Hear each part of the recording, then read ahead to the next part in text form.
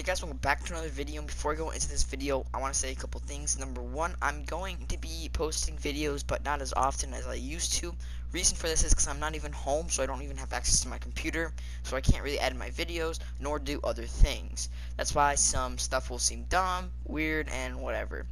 Um, also, another thing is I have recently added members, so if you guys want to join, you guys can. You guys get exclusive Discord servers and different stuff uh, revolving around that. You guys can check more into that if you just press the join button and check me out.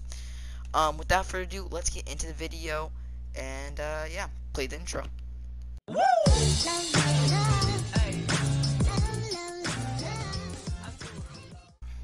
Alright, so today's video, I'm going to be showing you guys three commands you guys should have in your world. Now, these are really important commands, I, personally to me.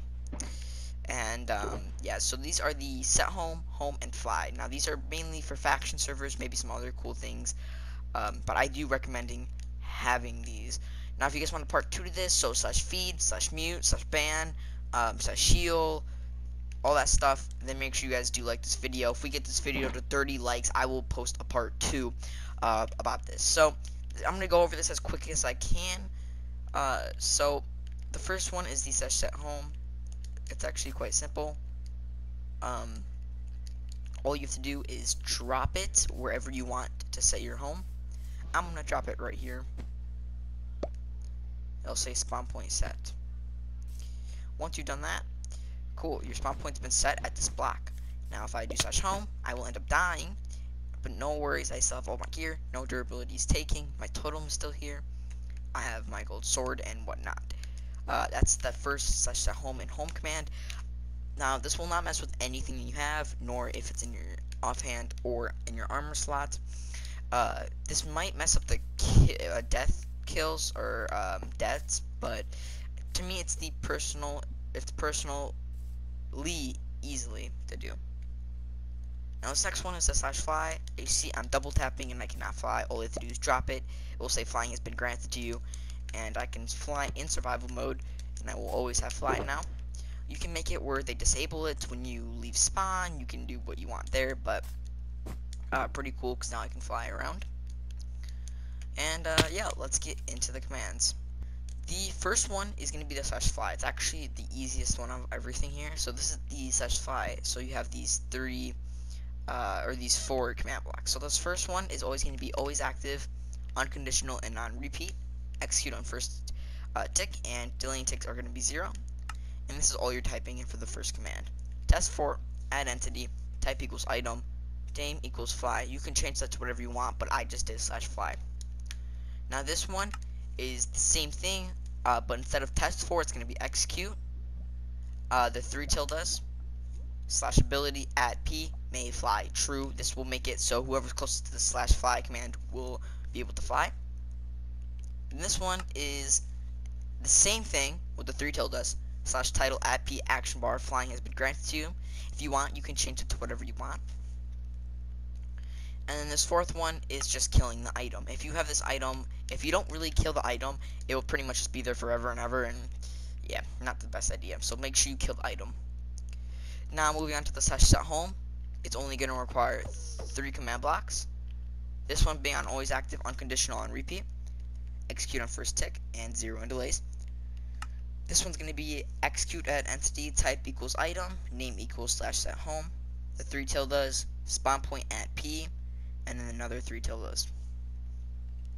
This one is going to be the same thing, but title at P, title spawn point set. This one's going to be, oh wait, this one's going to be chain unconditional always active. This one's going to be chain conditional always active, zero in delay.